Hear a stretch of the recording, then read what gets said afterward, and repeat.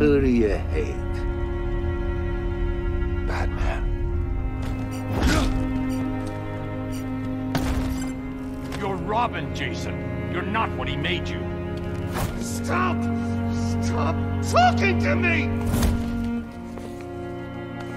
You did this to me. I'm sorry. You left me to rot in that abandoned wing of Arkham for over a year! Excuse me, sir. I, I must have misheard you. For a moment, I thought you said that you found Master Todd. You heard right. My God, is he all right? No. No, he's not.